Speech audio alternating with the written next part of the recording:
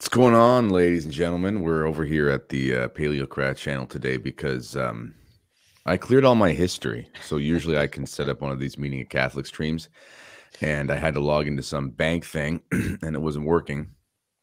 Um, so I called customer service, and they said clear all your history and your cache and whatever cash. There's a pun in there for banks, and um, and I deleted. It was like a week ago. I haven't made a Meaning of Catholic stream in probably couple months because usually Tim sets it up, but he's indisposed today. And uh, go to log in this morning and can't do it. And whatever, it's a whole thing. It's a whole Mm. one of them YouTube Yeah. Google things. Yeah. Came to And, the uh, rescue though, man. Paleocrat channel. Mhm. Yeah, You did. You want- Everyone you- on my channel is like, "What is this?" they're watching. You, uh, they're so used to watching my son's Minecraft memes. They're like, "I don't even know what this show's about." Three You grown-ups. the uh, Twitter, right, uh, Jerry Bear? Do you want to do you want to post Yeah. that we're on the here on the on the he Twitter? does. yeah, I do. I definitely, Twitter, I yeah. definitely want to post. Yeah, on Twitter. Do that. Yeah, my and by Make the way, my quit. son's gonna kill me. I said he shares Minecraft memes. He's like, I'm a gamer. Yeah, he's not. He's not. He's not. He's a meme lord a little bit, but he's a gamer. So okay, yeah, I'll, I'll share that right now, man. So uh, what's going on with you, Jake? Oh, not much. We got part eleven coming up for my series on church history, and I'm I'm blazing through a couple of books in my lazy chair over on the other side of the room here to try to get some more. Mm, I guess you could say material. It's not really like gathering material, but just getting my head right so that I can do some more theology as well as history. But other than that, uh, I had a little scare with the baby this week, last Mm. week, I should say. Ended up in the hospital. Uh, for those who don't know, my daughter has uh, a liver condition. She was born with what's called biliary atresia. So her uh, gallbladder is basically not there. They had to remove it, what, what was left of it. And her liver doesn't function quite so well. Mm. So any little infection or, or illness is, it has to be taken seriously. So, anyhow, four days in the hospital, and now we're home doing uh, IV antibiotics and stuff like that. But I mean, all things considered, you know, we're blessed. We, we, we are. She she's doing fine, and the other children are are healthy and just happy we're home. How many? So, Uh, How about you? well, oh, we've have. got. I did not have Sorry, go ahead. a. Sorry, go on. Sorry, what are you saying? You were saying how many? I Children. anticipated your. Ah, yes, seven. Really? Yes, Dude, I'm amateur. I only have. I'm. We're expecting number five. Con- congratulations, bro. Oh, that's like that's like minor leagues, man. Yeah, I know. I got to. Oh well. you know what though? My wife just went to a. uh a I wrote an article oof, back before, like it was like read by thirty people. Um, on some word, what is it? Weebly. I made like a Weebly website blog. I can't remember what it was called. This is before I was a, professional writer about um how it was uh we we thanks be to god we haven't had an issue getting pregnant and and whatever um basically as soon as i started taking the faith seriously like seven years ago we had a kid like we've had we're, we'll, we'll have had five kids and basically since the first one was born six years ago so we haven't Oh, uh, we haven't, you know, since we started living right, it hasn't been an issue. Um, not because we deserve it. And that was kind of my point with this article I wrote a while back is um there was a propensity amongst Catholics to view uh family size as holiness, you know. Mhm. Um obviously, yes, it means open to life, and that's a good thing. Um but uh so it's not as if uh, I, I just hate whenever I make comments like that. Someone who's having issues with fertility will say, "Well, that's not really fair." Um, so if I did that, I apologize to anybody. Um, yeah, we mean no offense. no, no. And well, to be you honest, do. I you don't. know, you do. I don't. You know, well, Jeremiah really. I mean, this is his channel, but it's his fault, um, really. Um, the uh, in yeah. in my experience, the folks with fewer kids have more virtue, and I think the reason that. God has. It's like an inverse relationship, right? It's God's like, Yeah. this guy needs patience. How am I going to give him patience? Well, let me give him a gaggle of children to so he can learn to be Ah, patient. that's right. You know, this this guy needs to be more understanding. He needs to be, you know, so it's almost like, oh you know, you need you need something to make you better, Where someone who's already better doesn't need it. That's right. something like that. That's right. Some of the the holiest people I know, they have like two children, and not not for lack of Uh. trying. You know, they they've been candid with me in the past. Yeah. Like we've we wanted to have more kids. We we um, you know sought medical uh, advice to make sure nothing was wrong and all this Mhm. stuff. It's like just wasn't in God's plan. And I'm thinking to myself, well, probably probably because you're already on the right track, and you know this is this is my my training, as it were. But My uh, anyhow, my wife was at a uh, conference, like a passion, like getting ready for Easter recently, and and the priest was talking about Mary and how she only had one child, and his name is Jesus, and um, you know, so was, he was giving some sort of uh, not warning, but like context of you know, um, there's a lot of reasons why we do or do not have kids, and, so- and so on and so forth. In any case, we're not here to talk about fertility um, although this is a relatively fertile bunch, because I know Jeremiah ex- they six or seven coming, or just did, or whatever. I don't can't remember. Anyway, so um, we're here to talk about something that will make us a lot of friends, uh, and it's about so many. so many friends.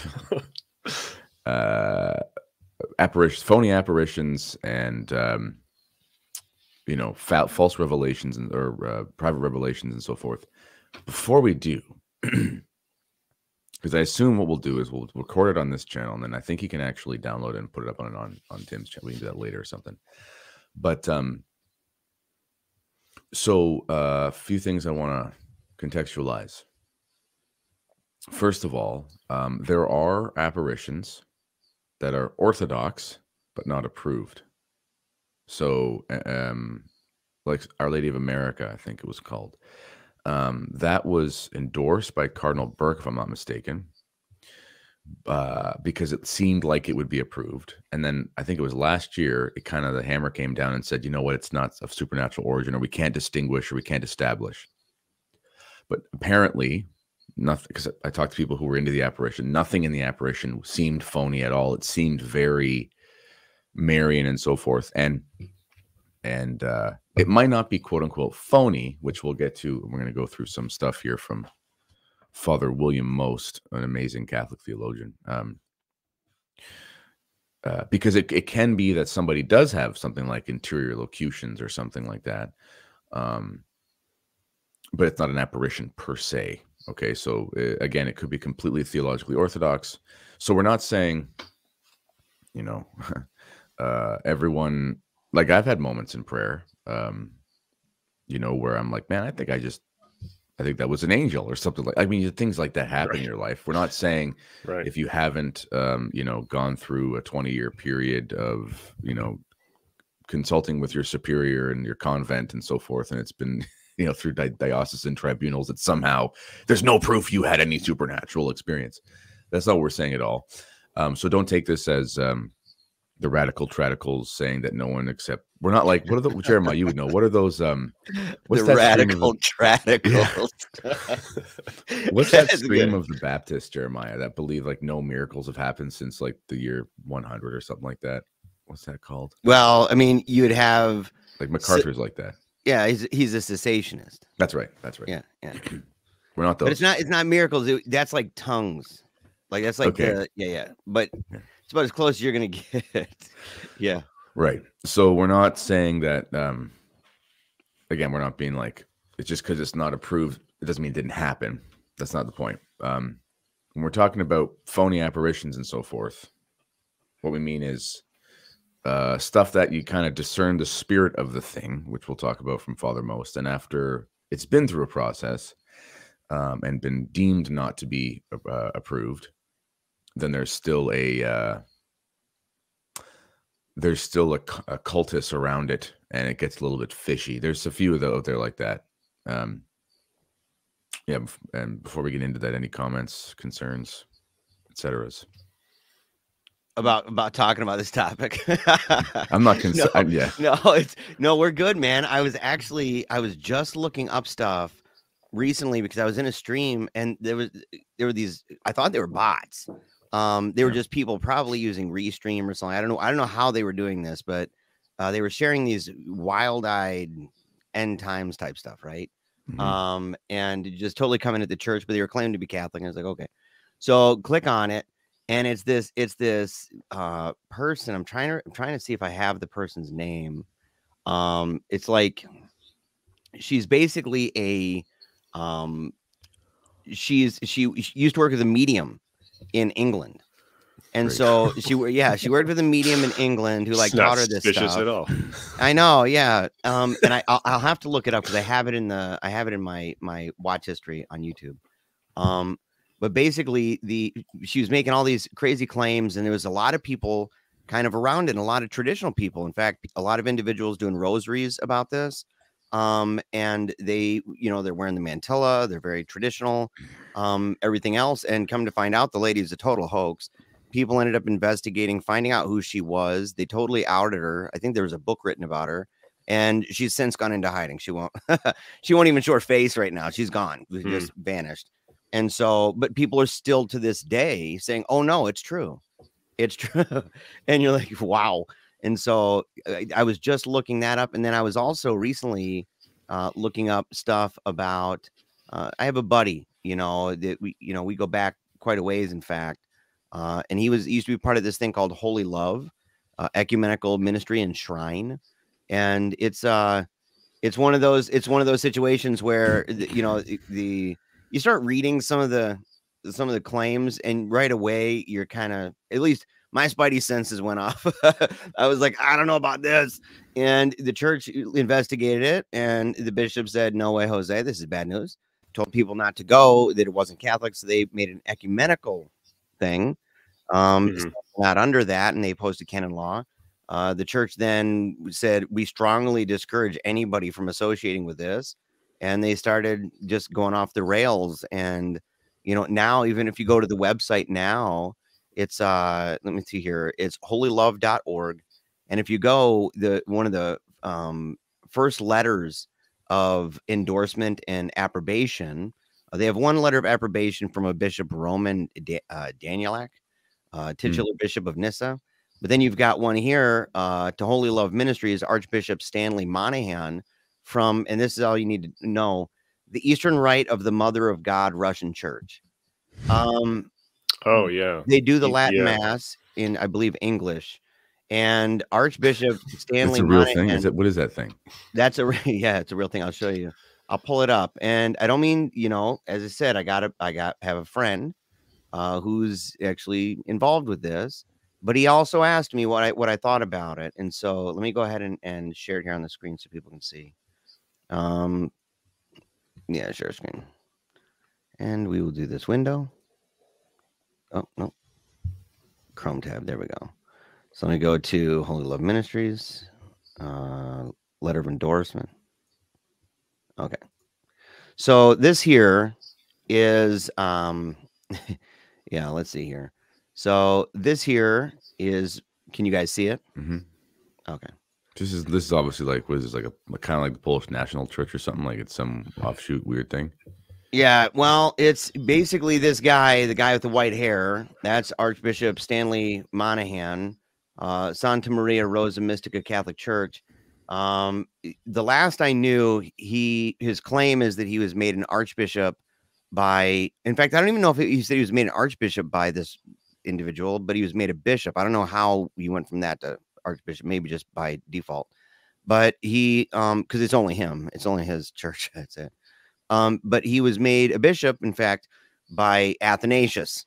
And by Athanasius, I mean Saint Athanasius. Um, okay, and yeah, so it's one of those. So this individual, that's the that's the first, um, that's the first um uh approbation or the first endorsement on the website is from this guy, but it makes it sound like it's a totally 100% legit thing. Like, oh, it's an archbishop.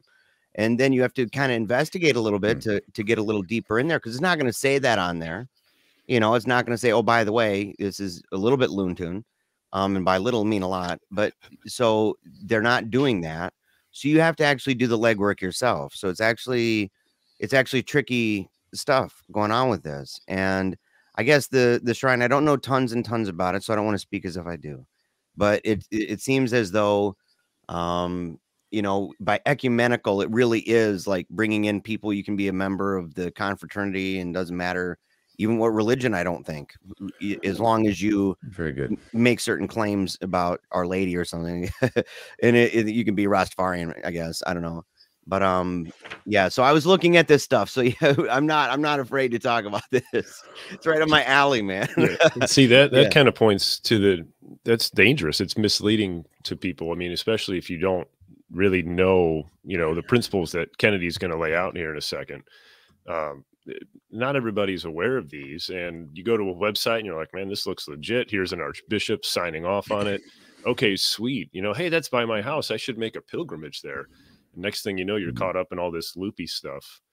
So it's church approval and, and obedience to the magisterium in this regard is key for the lay faithful because like i said most people don't have the ability to discern spirits the way priests do or the ordinary of the diocese does. You know what i'm saying? Hmm. yeah it's um it's it's messy. And this is why you know obviously everyone knows i'll i'll die on that lefebvrean hill if i'm forced to um but uh this is an area where i would never I can't say never because maybe like I don't know, maybe maybe there was some issue of world peace and we are sure the Blessed Mother came and and for some reason the bishop, well, I don't know. But even then, that's super dicey because none of this is day like none of this matters de fide. So you know it could be. Uh, so I should get into the Father Most stuff. So um, I have heard before. I heard from Father Ripperger.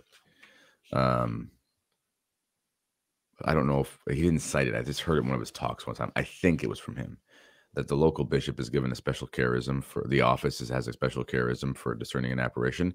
Father Most says that it's not necessarily infallible. I think uh, technically, like a bishop could be wrong in his assessment. I think, but it doesn't matter. Is the point because it uh, whether or not a, a particular apparition is true is nothing about you going to heaven obviously I believe Fatima is like insanely important. And it's kind of like, is it a private revelation? It's kind of like not just a private revelation, obviously, because public miracle of the sun and that sort of stuff. Okay, fine. But nonetheless, like if you did, if you don't believe the same thing about uh, Fatima or the consecration of Russia, it does not endanger your soul outside of maybe you had a hardness of heart or something. That's its own thing. But I'm just saying, if you had a different opinion about um, the uh, the aspects of an apparition that has nothing to do with going to heaven because it's not part of the deposit of faith you know if the apparition happens 2000 years after christ clearly for 2000 years people could go to heaven without believing that thing therefore it's not necessary right. to believe it to be saved. It's that simple. So even if you were like a even if your bishop was totally a unfortunate fella and like it seemed like he made the wrong call or something like that it wouldn't matter for your salvation is what i'm saying. So it's it's worth just completely deferring the normal channels of operation with these things because it's not worth the risk. So, uh, Father Most, he wrote something called Private Revelations in the Discernment of Spirits. And I, we're talking about this because I did a video on my other on my own channel uh, last week. There was this alleged apparition of John Paul II showing up to a nun in Spain, um, and he magically just made it very clear that Benedict's still the Pope and all this kind of stuff. It was very, very on the nose and and people, a lot of traditionalists were sharing it. and We're kind of like, ah, this might be true. And uh, I was like, I'm like, no, it's not. It's not true at all. And here's why. And um, so first thing, I'm not going to read this whole thing. It's a lot. It's uh, Father Most, if people don't know, is an incredible theologian. He wrote. Uh, I have a book on my shelf about his Latin the natural way method. He's he's a Latin expert. Uh, he also is a huge expert on Mariology and he wrote incredible stuff about co-redemptrix. He's kind of like an authority on that. I had to cite him for an article once, and I was blown away with the stuff that he has. And then also, he's just great on on this everything to do with private revelations. So he quote he quotes Saint John of the Cross, who uh, we could kind of call him like the doctor of mystical theolo- theology in the church. Like he's kind of like maybe the biggest maybe the biggest name there as far as that's concerned. He's a doctor of the church and he was a mystic. Um, and he actually says um, hmm, uh, he he reproves anyone who desires to be the recipient of a vision or a revelation. That doesn't mean that if uh, that if you want to see God or something that that's bad. That's not what he's saying. Um, but he's but he's saying this is a problem because faith holds on without seeing. And this is what St. Paul tells us. So if we look at approved revelations that have stood the test of time, like Fatima, Lourdes, whatever, there's always a resistance towards it. Um, and we see this in the Bible too. You know, it's like, whoa, why are you coming to me? You know, what are you doing? Whether it's an angel or something like that. Um, because there's a humility involved. And faith is without seeing. You don't need to see to believe, sort of thing. Um, so he actually reproves that. And then Saint Teresa of Avila, who's basically his counterpart, um, she actually says, I, I will only warn you that when you learn or hear that God is granting souls these graces, some alleged revelation or something, you must never beg or desire him to lead you by this road. Even if you think it is a very good one, there are certain reasons why such a course is not wise. Those reasons being almost always, I think it's always, to be honest, unless you're already in a cloistered convent or something like that. Pretty much always, your life is followed by suffering and tragedy and difficulty, um, persecution, and so forth. Um, and in addition, uh, there's a massive weight of responsibility put on somebody's shoulder if it's a real apparition. You know, I think of poor Sister Lucy. You know, one of the reasons why I argue that the consecration was valid from her writings and stuff. But when I was going through her writings, you know, there were con- there were complexities there. There were things where here you said that, there you said that. I don't blame Sister Lucy for that at all. The poor woman just should not have been put on the mic under the microscope uh, by everyone's different camp about what it would mean for 75 years, you know, or mm-hmm.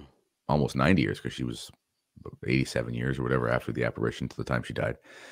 Um, what a terrible uh, weight and uh, burden that would have been for her her whole life. Um, so that's basically the basis of um, private revelations in general, why people shouldn't desire them.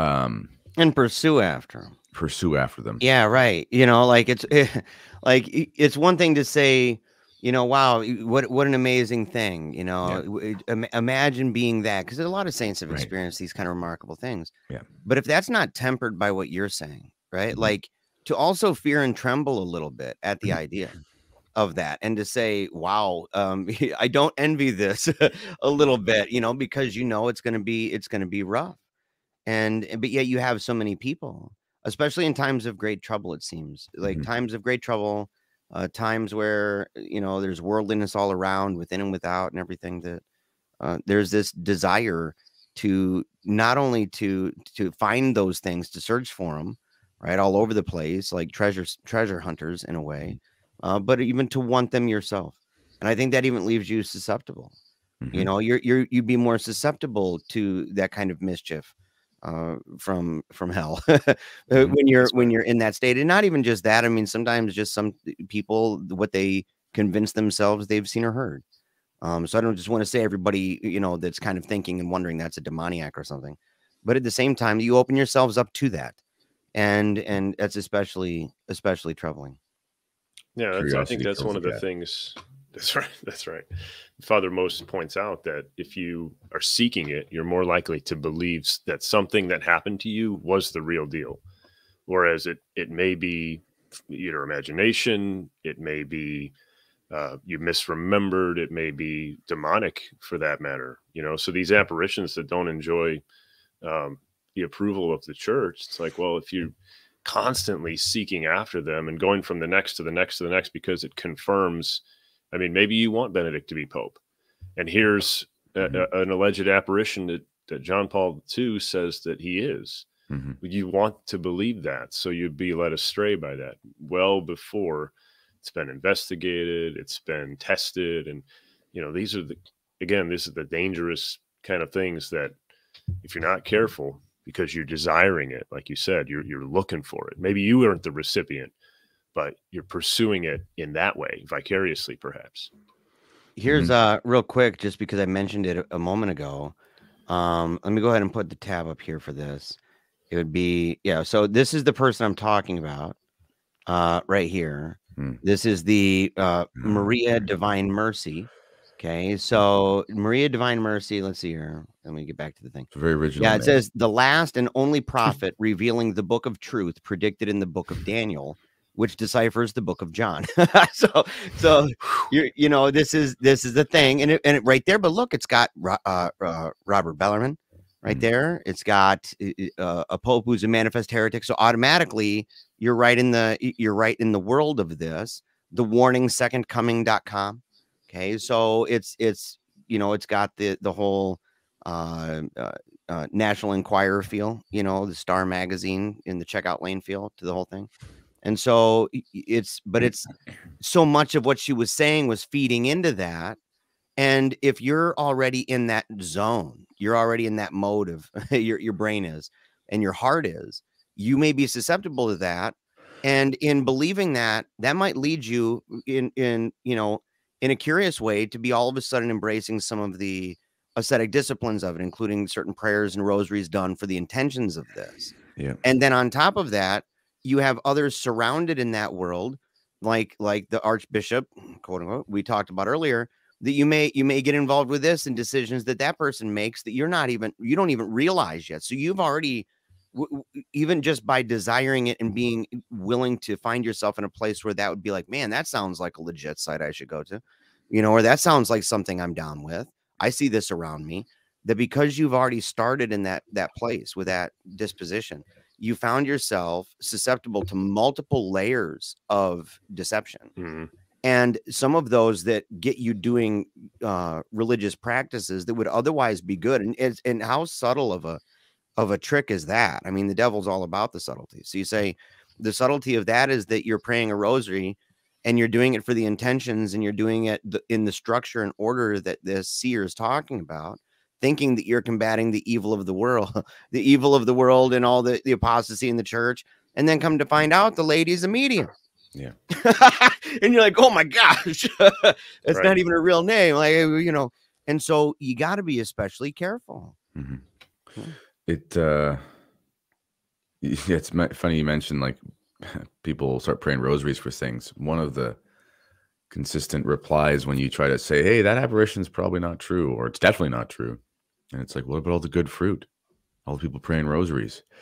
And um, well, life is kind of a mystery. People do a lot of things for a lot of different reasons. uh, just because you, be- you know, if you if, if if you believe something about something, of course you'll react in a certain way. And if you are trying to be Catholic, then you'll do Catholic things but just because you believe that thing about a thing doesn't mean that necessarily that thing is true that's mm-hmm. that's kind of a base that's a very basic philosophy 101 logic 101 um and uh but also one of the one other things that uh is worth noting is um this is from father most and he's citing some uh i don't know this is a selection of his book so he's probably got the full name somewhere else but poulain graces of interior prayer anyway he thinks that at least three fourths of the revelations given to those who have not reached high sanctity are illusions. And he also says, and there are many cases known of illusions even in canonized saints. So Saint Teresa of Avila and Saint John of the Cross are quite prudent in their advice concerning privately, um, uh, concerning privately revealed things. Um, okay, so and that makes sense. You know, this is why I've I have much love for many folks in the charismatic renewal. It's kind of how I came back into the church. Um, but there's a massive insistence in that movement of signs and wonders. Um, you know, so and so has been anointed, you know, that sort of thing.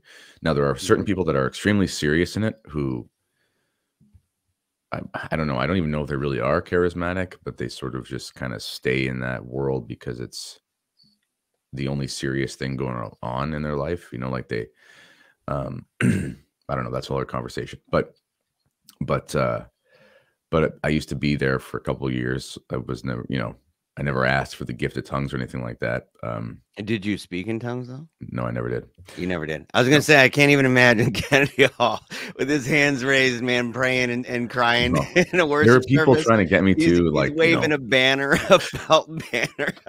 uh-huh. Yeah, no kidding. I spent the Pentecostal two step at the front. I never. So I never. Uh, oh.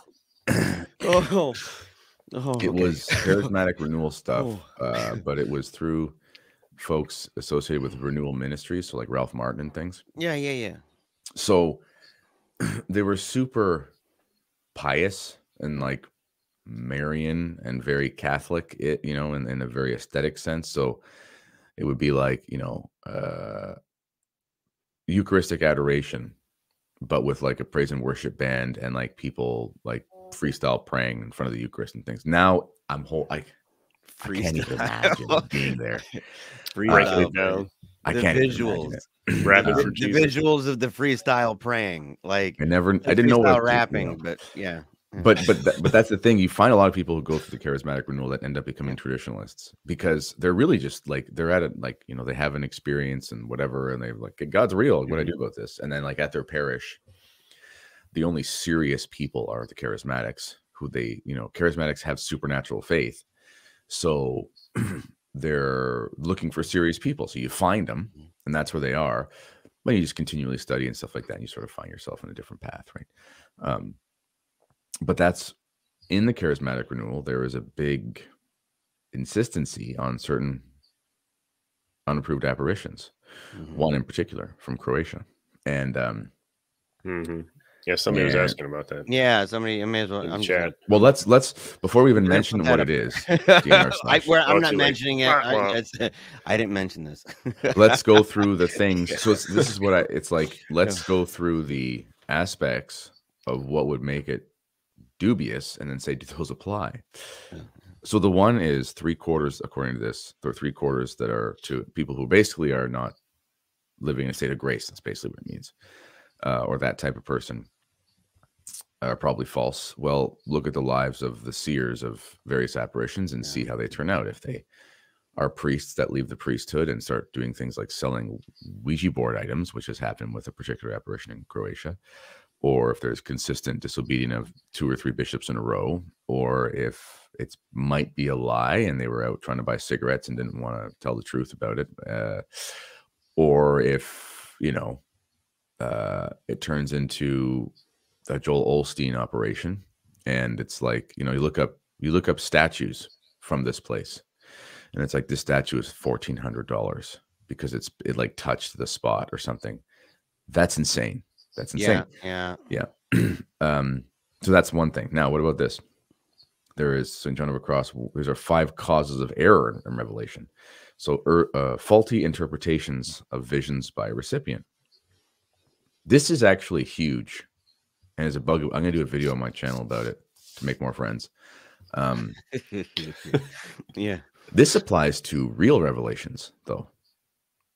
Um, a lot of traditional Catholics are really absorbed with private revelation. There's nothing wrong with private revelation when it's approved. It can be extremely edifying. People like to read Catherine Emmerich leading up to the Passion, for example, and she has meditations on that. That's wonderful. That's base. Mel Gibson basically used her visions to make the movie.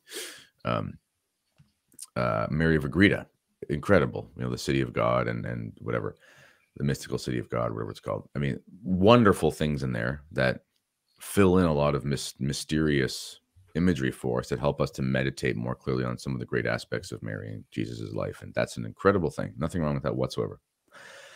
However, we have no idea. Sometimes the visionary has no idea about what is literal truth in their vision and what is metaphor. So one that keeps coming up where people say no, the the consecration of Russia by Pope Francis, whoever couldn't have been couldn't have been true, couldn't have been true because of this revelation. And it's the one by uh Blessed something Aiello. I always forget the first name. And uh, it's basically an ep- a revelation that Rome will be taken over by Russia, and they'll, they'll plant the red flag on top of the Vatican, and Italy will have much to suffer because of its impurities. And people are people are convinced that it has to be a literal militaristic takeover of Rome, if anything less, and is not the real thing. Um, they're convinced of that because it has that imagery to it. The thing is, though, this apparition is from before the Second Vatican Council. What do we see in the 1960s? We see the Russian Orthodox bishops who were just implanted by the KGB are invited to the council, and communism wins in that sense uh, because uh, they the council fathers are basically told not to talk about communism at the council. It's a victory for the Soviet Union in the in the metaphorical sense. They plant their flag on Russia or on the Vatican, um, and then Italy descended into. If you've ever lived in Italy, um, they have hardcore pornography on television after ten o'clock at night. not softcore. They have the hardcore, crazy stuff. Um, Berlusconi, who was uh, he was like Trump. He was like Italy's Trump, except more of a reprobate. Um, and uh, he was the prime minister, president back and forth for a long time. That's Italy. Politics is insane. Uh, he owned a bunch of these private channels. Italy, you cannot go to a variety store without seeing a pornographic magazine on the shelf. There's no covering of it. Italy has suffered from its impurity to a degree which is um, insur- it's it's indescribable the amount of impurity that they've suffered in the last 40 years in that country. Um, and uh, so, in my opinion, that hmm. apparition could totally be interpreted metaphorically. Communism basically had a victory at the Second Vatican Council. And so, in a metaphorical sense, the flag of Russia marched, they marched on Rome, and and and the KGB bishops got them not to talk about it, right. and they planted their flag. And and and then Italy suffered greatly for their impurity and, and, had a vocations crisis, and that's where we are today. That's one app. That's my point is, is that's a totally legitimate interpretation of it. It doesn't have to be a militaristic thing. Um, so that's an approved one, is my point, and that will lead people to a certain set of belief. no. It has to be this way, otherwise nothing else makes sense. And it's like, no, we don't know that, and we can't base our entire worldview on that uh, because that's not even what the seer of the, of the apparition or the vision would have told us. Um, so that's an, an improved one. Let's think about if they're not approved. Um, if somebody, if, if it's not approved, the person has been shown to be a suspect human being. What is the chances that they're going to have the right interpretation? you know, yeah, so it's yeah. it's imagination. It's not approved. It might even be from Satan, but here is how to interpret it for real. And you better do this, otherwise, you know, calamity is going to follow. Um, there also is the threat of or the the the problem of human action may mingle with the divine action but this again happens even in approved ones you know people have images in their minds uh so they're not really sure which is theirs and which is from heaven just totally mm-hmm. legitimate who knows um a true revelation may later be altered by a, by a recipient involuntarily okay um people don't have perfect memories. They're not given impeccability. This is what, what I think happened to sister, sister Lucy. This is why certain times she would say one thing and sometimes say the other. There's no ill will in there, uh, but just people get sound bites and they're like, well, she said this. You're ruling out the possibility of the second one, of the fake. What do you mean? The fake sister Lucy. Oh, you're ruling yeah, it out, man. I talked about that eat. on our Red Pill show. yeah, yeah. Oh, yeah. Haven't yeah. you seen the teeth? Haven't you? yep. No one's ever had. Yeah, yeah, yeah. It's Impossible. funny. I have a I have a family member who had major jaw and dental surgery growing up, so I actually saw someone's face radically change from an underbite situation. So I saw that and I was like, no, that people get like operations, like it happens. Anyway. Um, That's not my uncle. That is not my uncle. Yeah. yeah. no, Sister Lucy is not my uncle. Um, and also, yeah, people have no idea. Uh, people get, people get, people are like, why would you get dental surgery? It causes you to have like uh, neck and back issues if your jaw is out of line. So, like, yeah. it would, anyway, it's not a cosmetic thing. It would be a, that's a whole other story. I like um, how you mentioned too the the idea that even the seer it's difficult to differentiate what's a product of their own mind and a product you know of the divine and mm-hmm. so if a person is is taking that and they're using it as if it is all divine mm-hmm. they may be i mean that's just again that's like the subtlety of things that's the difficulty and the subtlety of of the way that something can be used that would otherwise be okay right mm-hmm. if left to itself in this way but you can take that and then impose that imagery on a narrative that you're advancing and i mean that, that can cause all sorts that's malicious at that mm-hmm. point it get it things get malicious real mm-hmm. quick and mm-hmm. and so i can it's easy to see how that can happen we see that play out um, with people with their with with uh, uh private revelations by prophecy right where mm-hmm. they go and they'll they'll say things and and you say well how much of that is because you spoke to my dad. like how much of that is because you know who I am or you have a desire for something or you heard a pastor say this and you're confirming it because people are listening. But if people take that and run wild with it, it can cause all sorts of problems. Yeah. Yeah, you're right.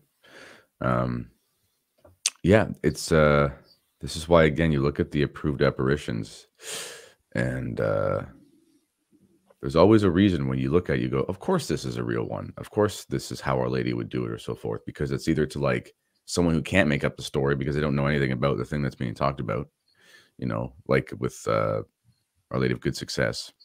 Freemasons didn't exist yet and she's talking about freemasons taking over the highest court in the land or whatever. Yeah. it's like what's a freemason? I don't know. Our lady told us. You know like, you know it, it, it couldn't make it up at the time. It wasn't there. Um or to small children who don't know what russia is uh, Yeah. and they think she's a woman and it's so it's like you didn't make it you don't even know what it is.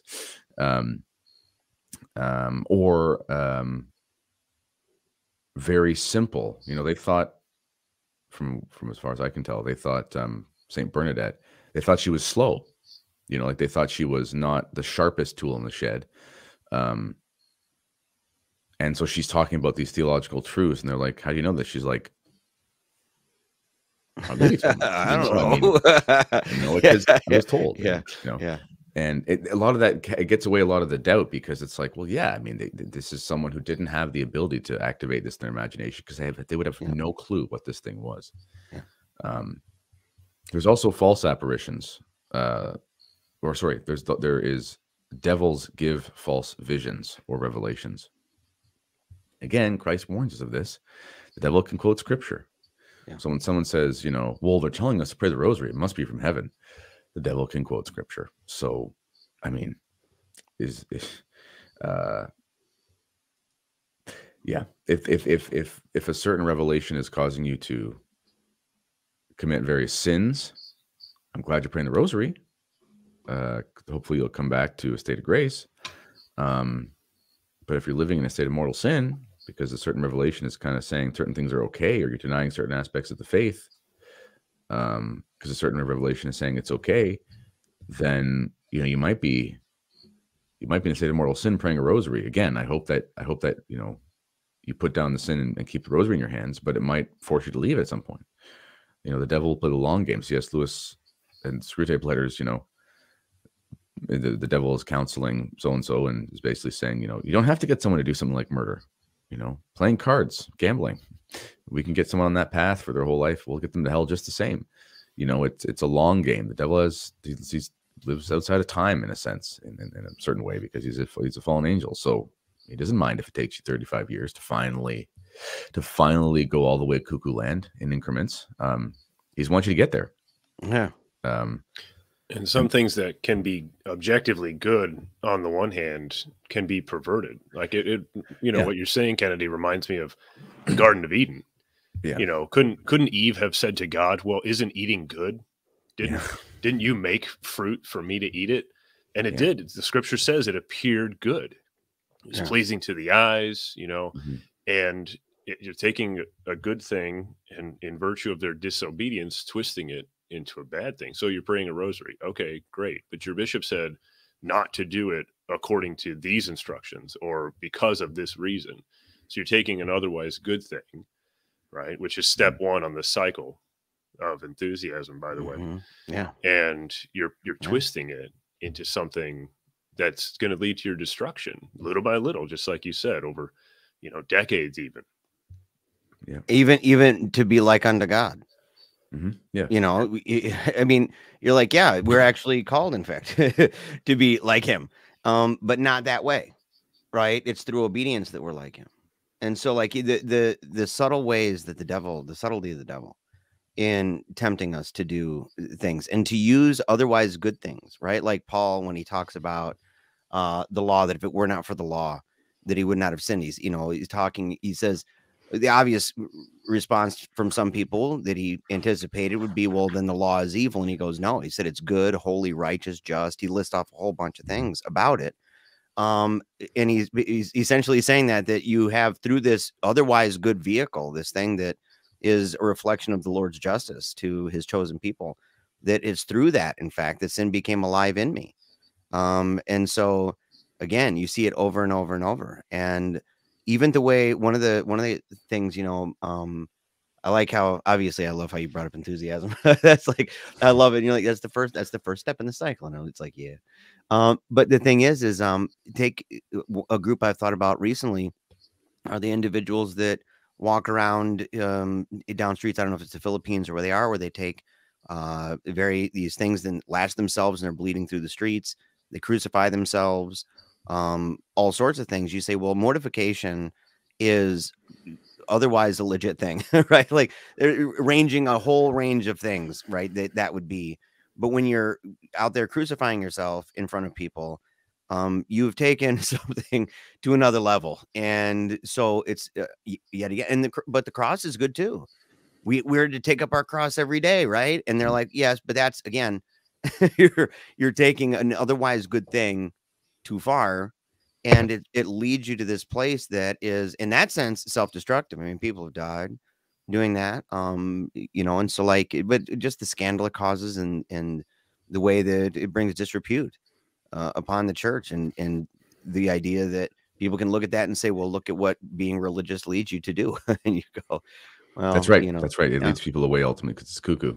Yeah. and um this is father most for the win. He says uh um sometimes Satan urges people to immoderate penances, so they will give in t- in time give up. Yeah. He may make contemplatives desire the active life, or vice versa. Blessed Jordan of Saxony, second general of the Dominicans, contracted a high fever. He had a prior skilled a prior skilled in medicine who told him to sleep on a soft bed, but Satan appeared to Jordan in the night and rebuked his self-indulgence. Jordan gave in to this two nights, but the third night, Jordan saw that he should obey his doctor.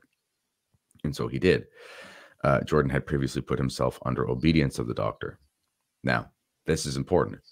Um, all conversations about uh, true and false obedience in an in an ecclesial sense aside, when somebody's a cloistered religious, they take a vow of obedience. Mm-hmm.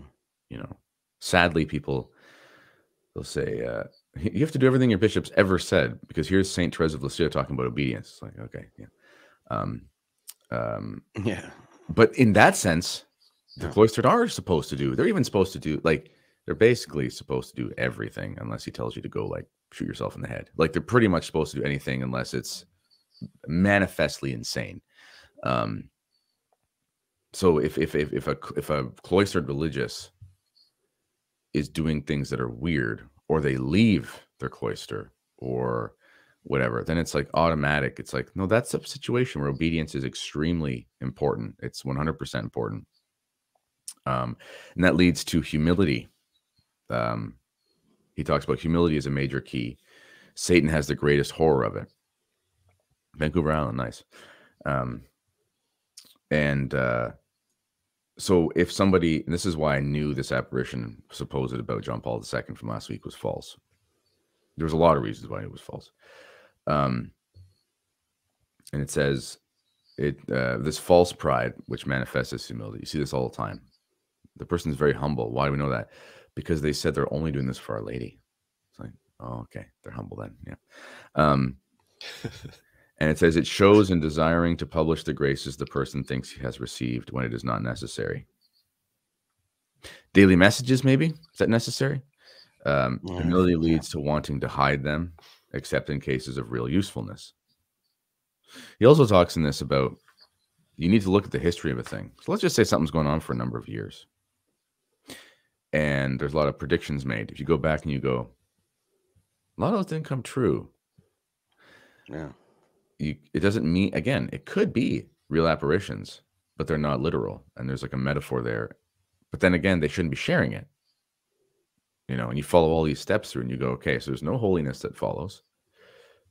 It's not approved. Uh there's no humility because there's daily literally daily uh publications. And there's no normal channels. I was looking up one of these priests who's attached to the Medjugorje thing, and he was asked an interview. This is on their website. He was asked an interview. Um, what will you do when like the time comes where you're supposed to they're supposed to reveal 10 secrets it's on a parchment it's on a parchment that's not from this world that that sister Mirjana will give to this priest uh 10 days before the tribulation and he'll have to make it known after seven days of fasting or something like that. And um, it's very specific. And the interviewer is like, "Well, how will you get this message out there? Out there when it's time? You know? Oh, also, Father so and so cannot refuse because he's been told by God. And it's like, no, even the Blessed Mother was asked if she would accept the incarnation of God. So that's actually not how this works. Um, but uh, first thing he says, well, I'll, I'll tell my friends, they'll pray for me, and then I'll, I'll use satellite television. So yeah. apparently, Obviously. tribulation is coming, and um, you know, it's three days of darkness or whatever thing they're using for the thing, and and uh, it's necessary for all of the souls of the world to be saved because of the illumination of conscience. Uh, and the channels that Our Lady wants so and so to go through with the special parchment from heaven that he has is to use the television. And it's like, you don't, if you don't even have to go into, people will say, well, the first few days were probably true. Even if they were, the thing has rotten. The thing, you know, if you've got so and so saying that he's to that, that that Christ has instructed his mother to tell somebody to use a special parchment with 10 secrets that'll be revealed on certain days, et cetera, et cetera, et cetera. And the best way to get that out there is by the TV. Um, we might have a problem. yeah. yeah. yeah. Yeah. Yeah. I, I, it's, it's, uh, it's crazy, you know, like the way that sometimes, you know, when things even if they start out good or not Mhm. not necessarily malicious, but it just over time builds and builds and builds. It reminds me of this movie called Lie. Um, and I'm kind of kicking myself for even thinking of talking about it because if people watch, they're gonna be mad if I say anything. So there's spoilers alert, right? Spoiler alert. Don't don't if you if you have not seen the movie Lie and the lie and you have wanted to see it and you're waiting to see it, do not listen to what I'm going to say for about the next 10 seconds. Um, but it starts out with something mundane, right? Like a, a small thing and builds up and builds up and builds up. And by the end, it's, you know, you don't even realize that you've been led along and boom, it all of a sudden something comes up and you're like, holy cow. But you you see what's required of it as it as it gets deeper and deeper and deeper into this, and it results in this kind of buckling down that we see with individuals like Harold Camping. So Harold Camping is a good case in point. Anybody who's made prophecies uh, of the end times, in fact, for 2,000 years, has been in this position. Every single person who's like, "Oh yeah, well this is this is the way it's going to play out, folks. This it's going to happen in our generation. This is going to be the end." And the Mhm. more specific they get, the, add them to the list. You can just say, "Well, I'm adding you right now." if if you end up, you know, you end up being right, wow, you're the one guy. But there's a long list of people in front of you uh, who've messed it up and and and done this. And those, you know, some of them walk away in shame. Some of them uh, just simply take the video offline and then reformat it a couple years later and then pitch it as if it's never been said before. Um, that sort of stuff happens all the time. And you know, it's I'm glad for shows like this, and I'm glad for work that you're doing, Kennedy. You're doing awesome stuff, by the way, man. That, that video that he was talking about that he did Mm, um about the apparition. People got to go watch it. I was watching it actually either last night or this morning, uh early or late, however you want to look at it. Um, and just just awesome work, man. Uh, and to go over and make sure to subscribe on his on his YouTube channel, right? And so make sure to Kennedy report. Yep, Kennedy report. Right? Yeah. yeah. It's good I stuff. wanted to I wanted to share something too before because I know we, we're about 53 minutes here. Um, I just wanted to share this a couple things. So I'll share the screen here. I wish there was a way I can just well, I guess I can. I'll share the window here. Let's see. Okay. Uh let's see. Yeah, I'll just share this. Why not? Okay. So no, no, I can't do that. never mind. Hold on. Let me stop sharing that. Okay. Let me share. Let me go back to this. I, I've never I've never hosted one of these by myself here. So okay, we'll do the Chrome tab and we will do let's see. So okay, I told you earlier that there was a um a situation with this with uh where I said that these people were doing these prayers having to do with the uh, the medium, right? And how someone could tune into this and say, okay, cru- a crusade for prayer, daily prayers, prepare for the second coming. And they could see this.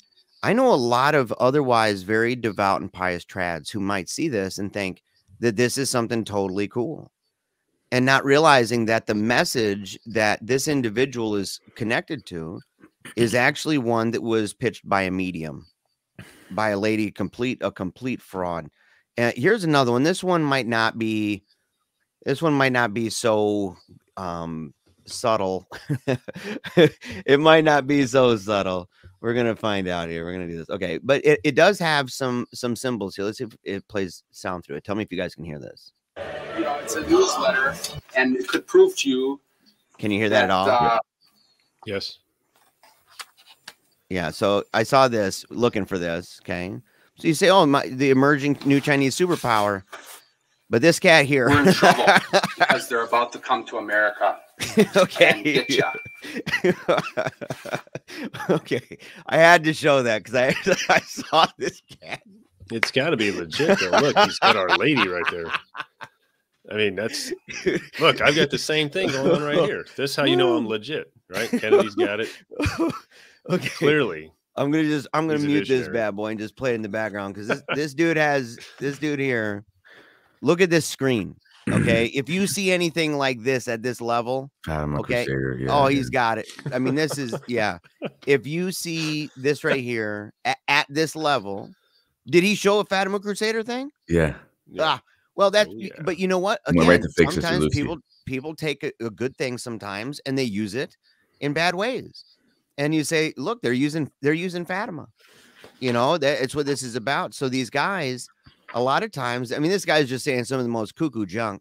But I mean, if you eh, just look at the screen, guys, just for a second, just absorb that. And just know that whenever you see anything like this, just run like the Dickens. Does don't you don't even if it's like, well, he had some good information. I promise you, you can find it without all the cuckoo bird nonsense by going to other channels, like for example, Kennedy Hall's channel or Meaning of Catholic, or you can see me and Jake over at Meaning of Catholic. And so, Well, th- as this yeah. is from Necedah. Is that from Wisconsin, right? yeah, it's yeah, it's from Wisconsin. Yeah. Yeah. So Mm. Father Most actually mentions that one in here. he Dude, Necedah, that's the that's the place where Archbishop Moynihan, I think, is from.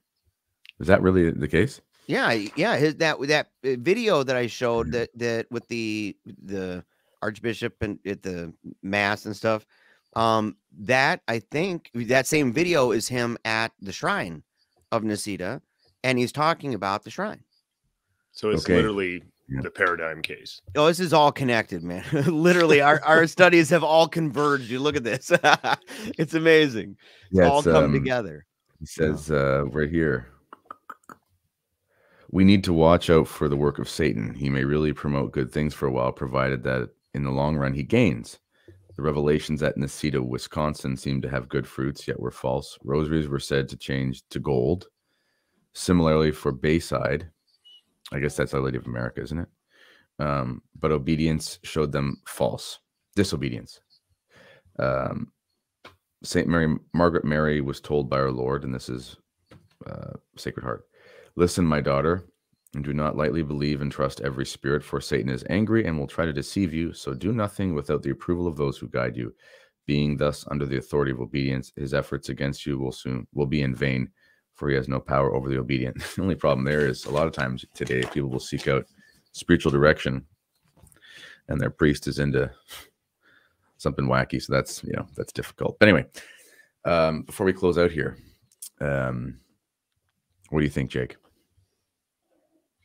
Oh man, so many things. And you know, this is that profound thing. I don't I don't want to keep well, I don't know how profound they are, but I don't want to keep, you know, beating this drum, but just to to remain within the bounds that Holy Mother Church has set for Mhm. us, right? We don't need to seek uh, to receive private revelation. We don't need to seek after other alleged private revelations because again you, you know all the things we mentioned before especially regarding confirmation bias you know there was a comment uh, maria was asking which video and we got her the link but for anyone else who was curious kennedy a few days ago did a video about this alleged revelation of st john paul ii to some cloistered nun and immediately it was made public and there was no investigation that we know of and anyhow so you know because we hear what they say and we'd like it to be true that becomes a, a point of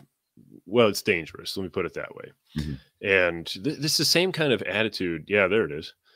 Uh, this is the same kind of attitude when somebody's like, well, I have read the Bible and I have determined that it means X Mhm. and the church has said it means Y, but I'm right because God told me. Yeah. Right. Or I have read the history. You know, I, I mean, I'm I'm no scholar, right? I'm trying to be. I'm not quite there yet. Um, but I've got buddies who they're like, well, if you knew the history of Vatican II, you would change your mind. I'm like, I don't really need to know the history of the secret CIA, this and that, to know that it was an ecumenical council approved by Rome. So, whatever good or bad, like we just have to take the good with the bad, you know, and I don't need to step outside of the bounds of, again, ecclesiastical approval. So, you know, those are just kind of the thoughts rolling around in my head that there, there's nothing new under the sun and we have everything we need. Oh, one thing I did want to add the reason it's called private revelation, or at least one reason, is because it's given for a certain people at a certain time. Mhm. Um, compared to public revelation, which was for all people of all time. Mhm. Right. So that's that's really the difference. So when we're trying to look back or look forward to events that are going to happen, it's like, well, again, how do we know we're interpreting them properly? And does this cohere with what our Lord said in the Gospels, what the apostles taught? That's the reason Fatima is so important, is because it relays to us the truths of the faith. It's not because it's some parallel message. Right. Yeah. All right. I'm, I'm done ranting. Good. It's Yeah. I like Yeah. it. I like that about Fatima too. I, I say that it, it even co- it even coalesces with what uh, Pius the Tenth, uh, uh, Pope Saint Pius the Tenth, talked about in his rather optimistic, borderline triumphalistic encyclical, uh, "Restoring All Things in Christ, uh, the King," uh, in the restoration of all things. In that encyclical, the arc of history is optimistic. It's the it's the Christianizing of the world Yeah. um, is what it is. And so there's been people who put an antithesis between Our Lady and uh, Pope Saint Pius X, and I say nope. Say you know you know you're you're doing bad because because otherwise it'd be like well that was I guess it was just bad timing, but that kind of plays into this naturalistic. That's right. He would have thing. better insight than you. He would have Yeah, he'd have better insight and like it, as if it's a matter of timing. Like well this is what. Uh, the Holy Ghost was preserving and everything and instructing and leading the church. And oh, if only I would have known the timing. I wish Our Lady would have told me like uh, give me a break you know so we don't that's not how catholics believe that's not how we think and so it's easier to see the continuity and the harmony of those two things than the end the antithesis of those two things and the discontinuity Very good. Yeah. All right. Well, we should end with a cold close because we started with a cold open, and then this will be just n- in infamy. Yeah. Um, yeah yeah so we're, we're just going to end it literally right now